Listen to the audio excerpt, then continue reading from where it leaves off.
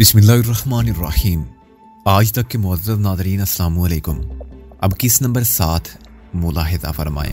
سودا ختم ہونے والے واقعے کے بعد چچا مشتاق بھی عادل کے خم خیال نظر آتے تھے۔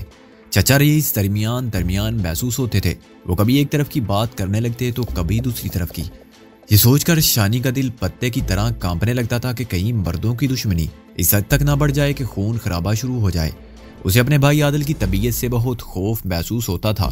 اس روز تو چچا مشتاق کے ساتھ مل کر شانی نے کسی نہ کسی طرح عادل کو روک لیا تھا، لیکن اس کے اشتعال پر کب تک پیارا بٹھایا جا سکتا تھا۔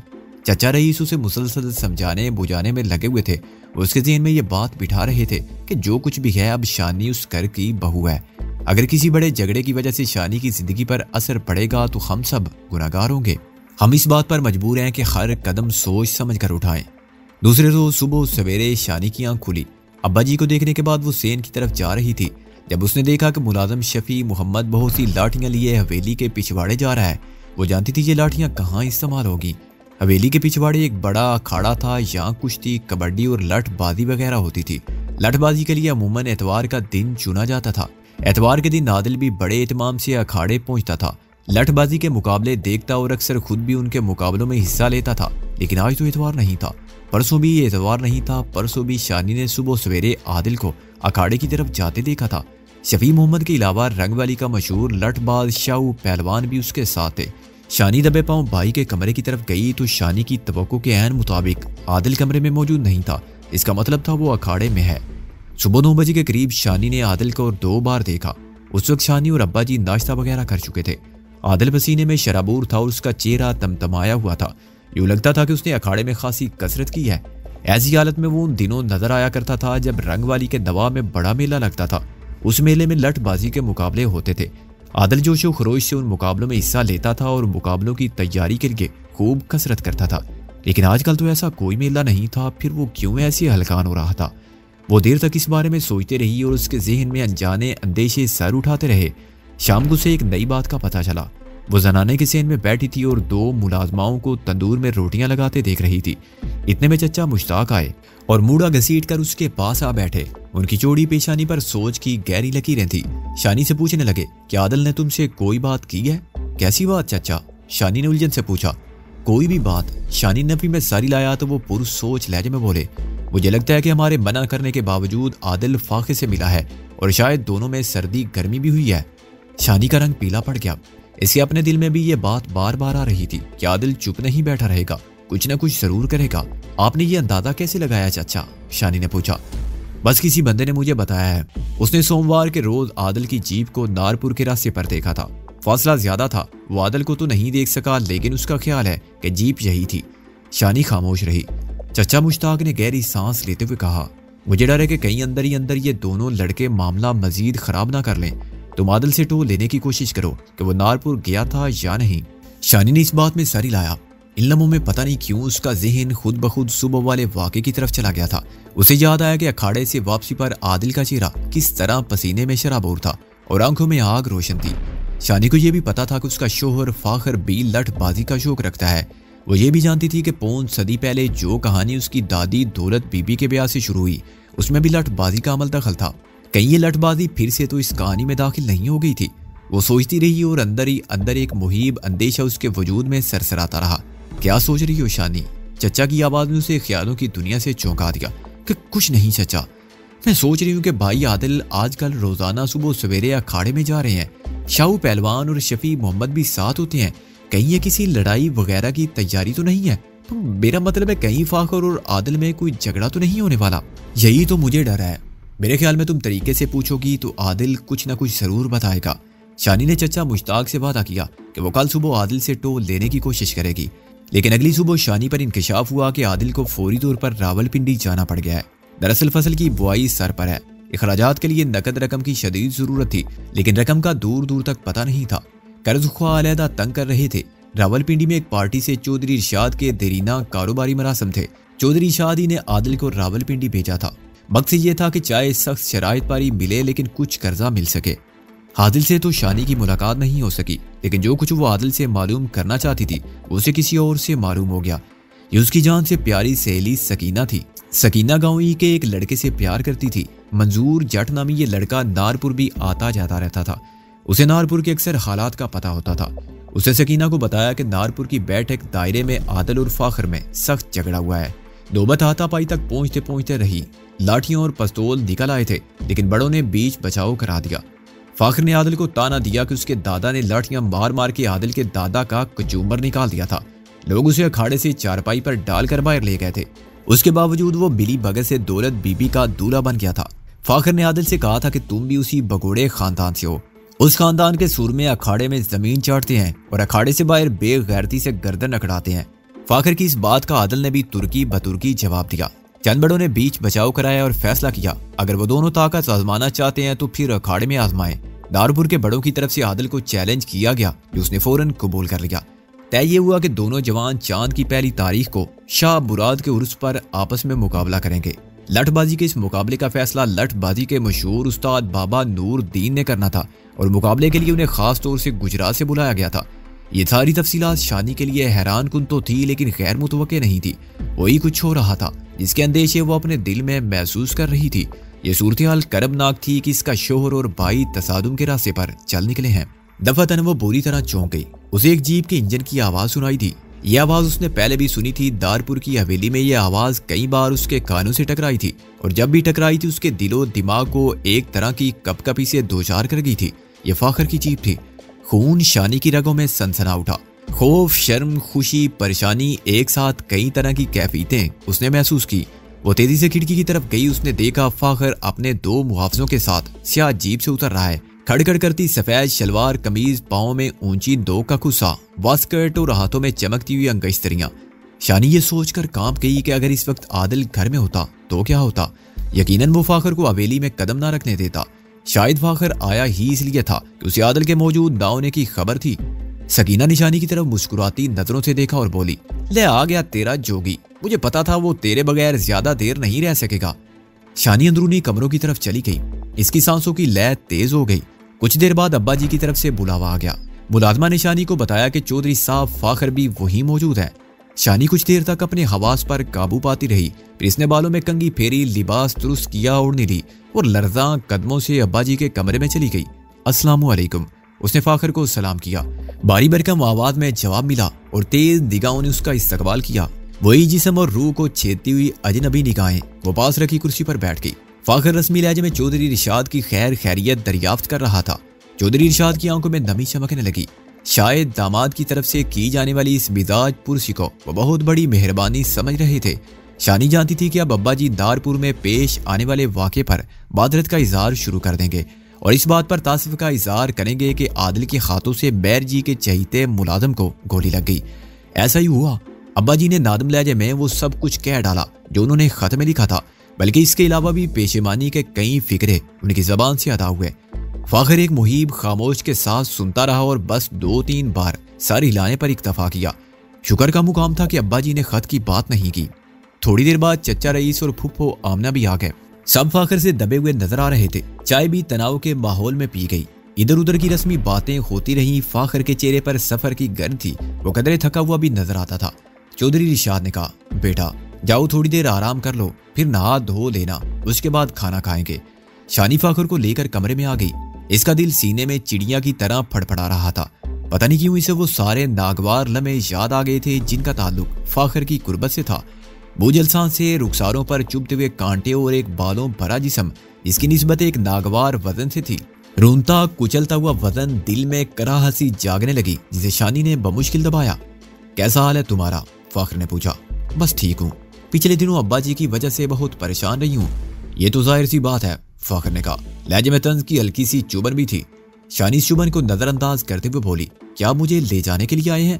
تمہارا کیا خیال ہے؟ تم جانا چاہتی ہو؟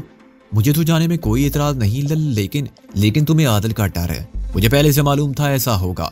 بہرحال تم گھبراؤ مت۔ میں بھی تمہیں ایسے نہیں لے جاؤں گا۔ اس وقت لے جاؤں گا جب یہ لوگ خود تمہیں میرے پاس بھیجیں گے۔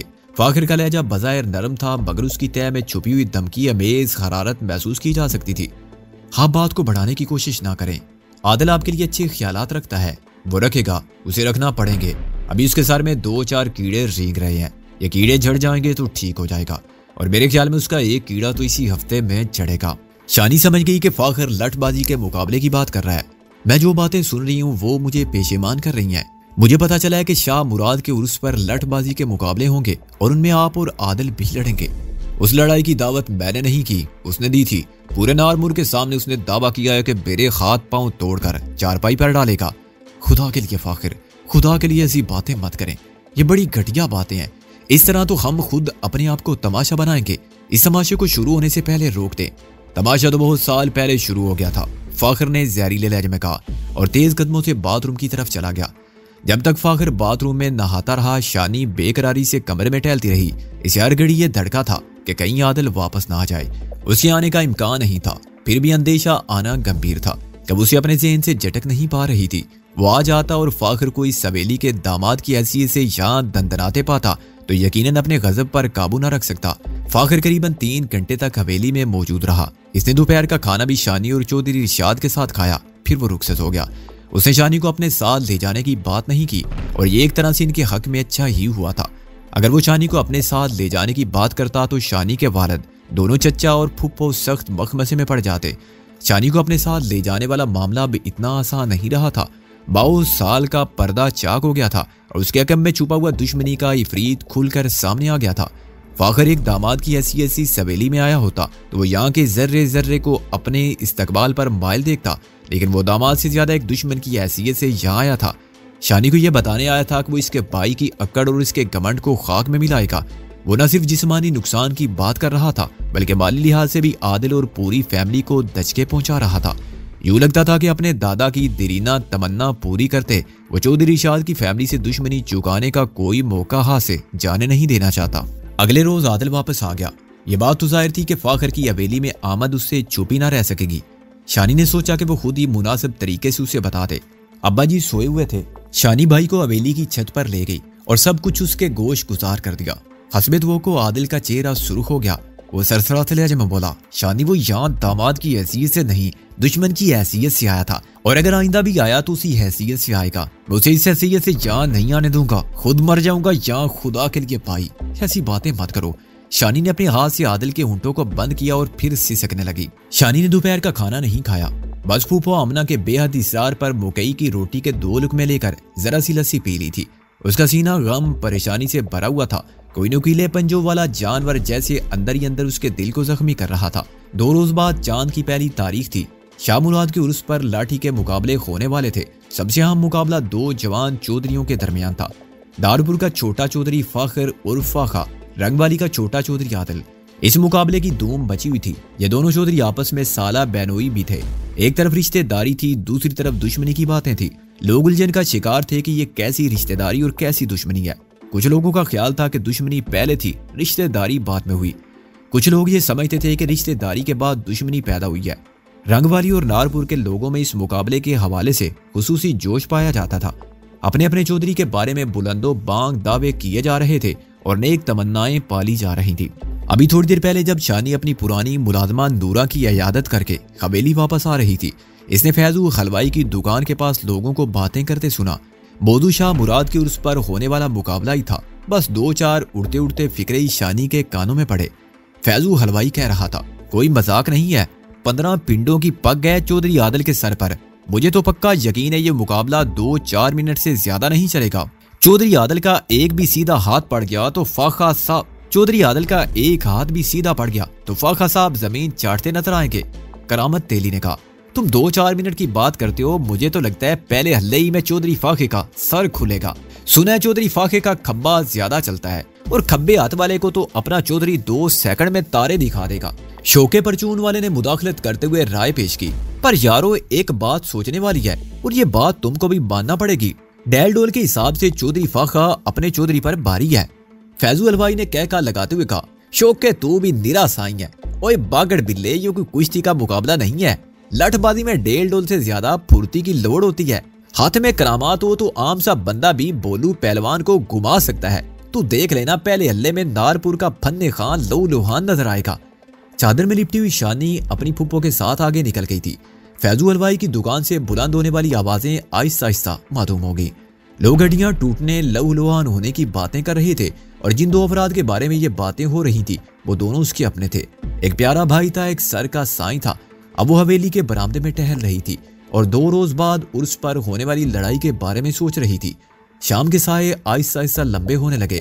دوپہر کی گرمی بددری چھاؤں اور ٹھنڈک میں ڈلتی جا رہی تھی۔ سین میں ایک طرف گاس تھی، اس گاس کی پرلی طرف سفید، زرد اور سرخ گلاب کے پھول تھے۔ ان پھولوں کو شانی نے بڑی محبت توجہ سے پالا تھا۔ شانی نے ملازمہ مختاری سے باسی روٹی منگوائی، پھر وہ برامدے کی گول ستون کے ساتھ لگ کر کھڑی ہو گئی اور روٹی کے چھوٹے چھوٹے ٹکڑے کر کے چڑیوں کی طرف پھینکنے لگی۔ چہ چاہتی چڑیوں کا روٹی کے ٹکڑوں پر جپٹنا اسے بڑا اچھا لگ رہا تھا۔ کبھی وہ اپنی ماں کے ساتھ مل کر یہ نظارہ دیکھا کرتی تھی، لیکن اب وہ اکیلی تھی۔ پتہ نہیں کیا بات تھی، جب وہ پریشان ہوتی تھی، اس طرح کے کاموں میں اسے بہت سکون ملتا تھا۔ چڑیوں کی طرف روٹی کے ٹکڑے پھینکنا بھی ایک معمولی سا عمل تھا، لیکن اسے راحت محسوس ہو رہی تھی۔ پریشان کن خیالات کی طرف سے اس کا دھیان بڑھ رہا تھا۔ اچانک وہ بری طرح چونک گئی۔ اس کی نگاہ دور گلاب کے پودوں کی طرف گئی۔ اسے ایک شخص نظر آیا۔ وہ بظاہر مالی دکھائی دیتا تھا۔ تہ بند اور کمیز پہنے وہ پاؤں کے بل پودوں کے پاس بیٹھا تھا اور کھرپے سے زمین کی گوڈی کر رہا تھا۔ شانی نے اس کا چہرہ دیکھا اور جسم سنسنا کر رہ گیا۔ یہ شخص اس کے لیے اجنبی نہیں تھا۔ چند ہفتے پہلے وہ اسے ملاقات کر چکی تھی۔ دارپور حویلی کی وہ رات ابھی بھولی نہیں تھی۔ دروازے کا کفل دیکھنے کے لیے وہ سیڑھیاں اتر کر نیچے آئی۔ سیڑھیوں کے نیچے والے کمرے میں اسے ایک لو لوہان شخص نظر آیا تھا۔ وہ بس بے ہوش ہونے کے قریب تھا۔ شانی بھی ساختہ آگے بڑی اس نے زخمی کو گرنے سے بچانے کے لیے اس کا سر اپنی گود میں لیا تھا۔ یہ سارا واقعہ ایک سیکنڈ سے بھی کم وقت میں شانی کے ذہن میں کون کیا آج کئی ہفتے بعد یہ شخص مختلف فلیے میں یہاں رنگ والی میں موجود تھا اور ملازم کی حیثیت سے حویلی میں نظر آ رہا تھا۔ شانی نے نگاہیں سکیڑ کر ایک بار پھر غور سے دیکھا۔ اس کی نگاہ دھوکہ نہیں کھا سکتی تھی۔ یہ وہی تھا۔ یہ وہی تھا۔ پھر اس نے کھرپا چلاتے چلاتے اپنا سر اٹھایا۔ چند لمحوں کے لیے دونوں کی نگاہ ٹکرائی۔ شانی جر جری لے کر رہ گئی۔ ہاں یہ وہی تھا۔ اور یہ نگاہ بھی وہی تھی جس نے دارپور کی حویلی میں شانی کو سرتاپا دہلا دیا تھا۔ ایک جوگی کی سی نگاہ۔ اپنے اندر بے پناہ، گہرائی اور پوشیدہ راز سمیٹے ہوئے۔ شانی کو ایک نظر دیکھنے کے بعد اس شخص نے پھر سے سر جھکا لیا اور اپنے کام میں مصروف ہو گیا۔ قطعی لا تعلق اور بیگانہ نظر آنے لگا۔ شانی نے اپنے خوش کونٹوں پر زبان پھیری۔ ہتھیلی پر جمع ہو جانے والی روٹی کے بہت سے ٹکڑے چڑیوں کی طرف پھینکے اور کمرے کی طرف لپکی۔ وہ کچھ دیر تک اپنے آپ کو سنبھالنے اور نارمل کرنے کی کوشش کرتی رہی۔ پھر اس نے ملازمہ مختاری کو بلایا۔ وہ چولہے میں آگ جھونکتے ہوئے آئی تھی۔ اس کی آنکھیں دھوئیں سے سرخ ہو رہی تھی شانی نے اس سے پوچھا، وہ باہر جو بندہ گلاب میں گھوڑی کر رہا ہے، اسے جانتی ہو؟ مختاری نے کہا، وہی خاکی دوتی والا جس کے بال لمبے لمبے ہیں۔ شانی نے اس بات میں ساری لایا۔ مختاری بولی، وہ نیا ملازم ہوا ہے جی۔ بابے فخری نے رکھا ہے اسے۔ کب ہوا ہے ملازم؟ ڈیڑھ دو ہفتے ہو گئے ہیں جی۔ اچھا بندہ ہے، اپنے کام سے کام رکھتا ہے۔ محنتی بھی بڑا ہے، پرسوں اس نے صرف ایک دن میں پچھواڑے کی ساری گھاس کاٹی ہے۔ اور جمعے والے دن اکیلے ہی ڈیرے کی باغیچی صاف کی ہے۔ وہ پچھلا مالی باجو تو ایک گنڈا تھا جی۔ اس کی آنکھ میں سور کا بھال تھا۔ خبیز کے سامنے سے گزرتے ہوئے بھی شرم آتی تھی۔ یہ اچھا بندہ ہے، نماز بھی پڑھتا ہے۔ شانی اپنے لہجے کو نارمل رکھتے ہوئے بولی، کیا نام ہے اس کا؟ وادی وادی کہتے ہیں جی سے۔ میں نے ایک دن پوچھا تھا تو کہتا تھا، رامپور سے آیا ہوں ویسے بولتا بہت کم ہے۔ دو چار دن میں تو یہی سمجھتی رہی کہ گونگا ہے۔ مختاری نے چند لمحے توقف کیا، پھر بولی، اگر آپ نے بات کرنی ہے تو میں اسے بلاؤں یا؟ نہیں، کوئی ضرورت نہیں، شانی نے کہا۔ مختاری کے جانے کے بعد شانی پلنگ پر بیٹھ گئی۔ اس کے ذہن میں خلچل مچ گئی تھی۔ یہ ہرگز اتفاق نہیں تھا کہ دارپور کے بعد یہ بندہ یہاں حویلی میں نظر آیا تھا۔ شانی ایک احساس لڑکی تھی۔ وہ اپنی طرف اٹھنے والی خر نگاہ کا خر زاویہ بانپ سکتی تھی۔ اسے وہ لمحے یاد تھے جب وہ دارپور کی حویلی میں اس شخص کے زخموں کی مرم پٹی کر رہی تھی۔ وہ اپنی شدید تکلیف سے قطعی بے خبر دیوانوں کی طرح اس کی طرف دیکھتا چلا جا رہا تھا۔ شانی کو اس کی نگاہ سے شدید جھنجھلاہٹ محسوس ہوئی، لیکن یہ جھنجھلاہٹ اس درجے تک نہیں پہنچی تھی کہ تیش میں ڈھل جاتی۔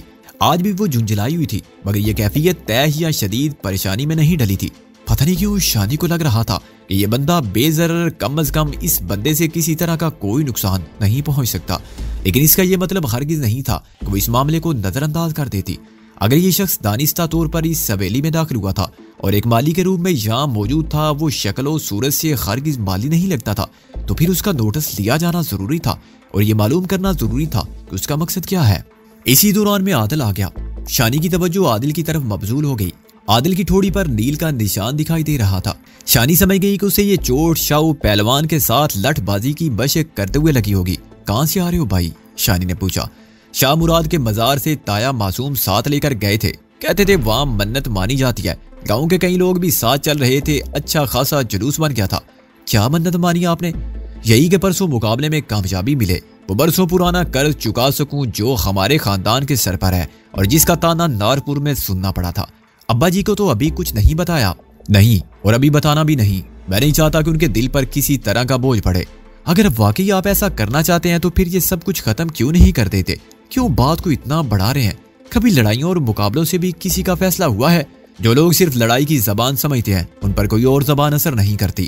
ابا جی کی طبیعت آج پھر گر ہوئی ہے۔ بلڈ پریشر بھی بڑا ہوا ہے، شانی نے کہا۔ اچھا میں دیکھتا ہوں ان کو۔ تم جا کر ذرا بابے فخری کو سمجھا دو کہ ابا جی سے ابھی مقابلے وغیرہ کے بارے میں کوئی بات نہیں کرنی۔ میں نے بھی اسے تاکید کی تھی، لیکن تمہیں پتا ہی ہے، ابا جی کے سامنے وہ سب کچھ فر فر بول دیتا ہے۔ اچھا میں ابھی بات کرتی ہوں اس سے۔ شانی نے مرے مرے لہجے میں کہا۔ عادل چودھری ارشاد کے کمرے کی طرف بڑھا تو شانی بابے فخری کو دیکھنے کے لیے باورچی خانے کی طرف چلی گئی۔ وہ خود بھی بابے فخری سے ملنا چاہتی تھی اور اسے بعد ہی نامی شخص کے بارے میں تفصیل جاننا چاہتی تھی۔ اسے اپنی حویلی میں دیکھنے کے بعد اس کا خیال ایک لمحے کے لیے بھی شانی کے ذہن سے نکلا نہیں تھا۔ لیکن جب وہ بابے فخری کو ڈھونڈنے نکلی تو اسے پتا چلا کہ وہ تو زہر کے بعد فوری طور پر اپنے گاؤں واقع کھاریاں چلا گیا تھا۔ وہاں اس کا بھائی شدید بیمار ہے۔ شانی رات بھر پریشان رہی۔ حالات تو پہلے بھی پریشان کن تھے، لیکن اب ان میں ایک اور پریشانی بھی شامل ہو گئی تھی۔ اس کا تعلق اس شخص سے تھا جس کا نام ملازمہ نے وادی بتایا تھا وہ یہاں کیوں آیا تھا؟ کس لیے تھا؟ وہ مسلسل سوچ رہی تھی کہ کیا اسے اس بارے میں عادلی یا چاچا مشتاق کو بتانا چاہیے۔ لیکن اس سے پہلے وہ بابے فخری سے تفصیل سے بات کرنا چاہتی تھی۔ امید تھی کہ بابا فخری شام سے پہلے پہنچ جائے گا، لیکن فخری شام تک نہیں آیا۔ فخری کی بجائے خبر پہنچ گئی، فخری کا بھائی فوت ہو گیا تھا۔ اگلے روز شاہ مراد کا عرص تھا۔ شاہ مراد کا مزار رنگ والی گاؤں سے تقریباً چالیس میل کے فاصلے پر تھا۔ اس کے باوجود علاقے کے بہت سے لوگ بسوں، ٹرالیوں اور موٹر سائیکلوں کے ذریعے عرص میں پہنچے تھے۔ اس دفعہ لوگوں میں اضافی جوش و خروش تھا اور اس کی وجہ وہ مقابلہ تھا جو دارپور اور رنگ والی کے دو جوان چودھریوں کے درمیان ہونا تھا۔ عادل کے پرزور اسرار پر چودھری ارشاد سے یہ خبر ابھی تک چھپائی گئی تھی۔ وہ چونکہ بیماری کی وجہ سے اپنے کمرے تک محدود تھے، اس لیے گھر والوں کو خبر چھپانے میں کامیابی حاصل ہو گئی تھی اور پھر اس کا دن پہنچ گیا۔ شانی پر صبح ہی سے گھبراہٹ سوار تھی۔ وہ اکھاڑے کی طرف آنے والی پرشور آوازیں سن رہی تھی۔ حادل اور اس کے ساتھ ہی آج منہ اندھیرے ہی لٹ بازی کی مشق میں مصروف تھے۔ گائے، بگاہے، بلند ناروں کی آواز بھی شانی کے کانوں تک پہنچتی تھی۔ وہ جان بوجھ کر ابا جی کے کمرے کی طرف بھی نہیں گئی۔ اگر ابا جی ناروں اور شور وغیرہ کے بارے میں پوچھتے تو جواب میں اسے جھوٹ بولنا پڑتا۔ اور ابا جی کے سامنے وہ جھوٹ بولنے کا تصور بھی نہیں کر سکتی تھی۔ صبح آٹھ بجے کے قریب بس اور ٹرالیاں شاہ مراد کے مزار کی طرف روانہ ہوئی لیکن ابھی اس قافلے کو روانہ ہوئے پانچ منٹ ہی ہوئے تھے کہ دیکھتے ہی دیکھتے موسم کے تیور بدل گئے۔ پہلے طوفانی آندھی آئی، اس کے بعد گہرے تاریخ بادلوں کے ساتھ تابڑ توڑ بارش ہونے لگی۔ بارش کا سلسلہ ایک بار شروع ہوا تو پھر دراز ہوتا چلا گیا۔ شانی کو یہ سب کچھ اچھا لگ رہا تھا۔ اس کے دل میں امید کی کرن پیدا ہو رہی تھی۔ اس خراب موسم میں عرس کے انتظامات یقیناً درم برم ہو جانے تھے۔ ایسے میں لٹ بازی کے مقابلے ہونے بھی بہت مشکل تھے۔ بارش ساپیر تک جاری رہی اور پھر ایک معمولی سے وقفے کے بعد پھر شروع ہو گئی۔ شام سے تھوڑی دیر پہلے عرس پر جانے والے زائرین اور تماشائی واپس آنا شروع ہو گئے۔ عادل بھی واپس آ گیا۔ شانی کی بیتاب نگاہوں نے بائی کے چہرے کا طواف کیا۔ عادل بالکل صحیح، سلامت اور ٹھیک ٹھاک تھا۔ شانی کو معلوم ہوا کہ خراب موسم کی وجہ سے شاہ مراد کے عرس پر لٹ بازی اور کبڈی وغیرہ کے مقابلے نہیں ہو سکے۔ اس کے سینے سے ایک اطمینان کی طویل سانس خارج ہو گئی لیکن وہ نہیں جانتی تھی کہ اس کا یہ اطمینان آر دیا اگلے روز ناشتے کے بعد شانی نے اپنے گلابوں کو پانی دیا اور پھر کمرے میں جا کر تھوڑی دیر کے لیے سو گئی۔ اسے ملازمہ مختاری نے جھنجھوڑ کر چگایا اٹھو بی بی اٹھو۔ دیکھو باہر کیا ہو رہا ہے۔ کیا ہو رہا ہے؟ شانی نے ہڑبڑا کر پوچھا اور سینے پر اوڑنی کو درست کیا۔ چودھری فاخا صاحب آئے ہیں۔ ساتھ میں بہت سے لوگ ہیں، پانچ چھ جیپیں ہیں۔ دو ٹرک بھی بندوں سے بھرے ہوئے ہیں۔ وہ کہتے ہیں جو لڑائی کل ارس میں نہیں ہو سکی تھی، وہ آج یہاں ویلی کے سامنے میدان میں ہوگی۔ شانی نے غور کیا تو اسے بھی باہر سے ہلکا سا شور سنائی دیا۔ داروں کی آوازیں آ رہی تھی بھائی عادل کہاں ہیں؟ شانی نے پوچھا۔ انہوں نے چودھری فاخا کی بات مان لی ہے اور وہ کہتے ہیں ٹھیک ہے، کل بارش کی وجہ سے جو مقابلہ نہیں ہو سکا، وہ آج ہوگا۔ ابا جی کہاں ہیں؟ وہ کمرے میں سوئے ہوئے ہیں۔ تم سارے دروازے بند کر دو۔ حبا تک کوئی آواز نہیں جانی چاہیے۔ مختاری اندرونی حصے کی طرف لپک گئی۔ اتنے میں شانی کو عادل کی جھلک نظر آئی۔ وہ ریوالور میں گولیاں برتا ہوا باہر نکل رہا تھا۔ شانی تڑپ کر اس کے سامنے آ گئی۔ کیا کر رہے ہیں بھائی جان؟ وہ روانسی آواز میں بولی۔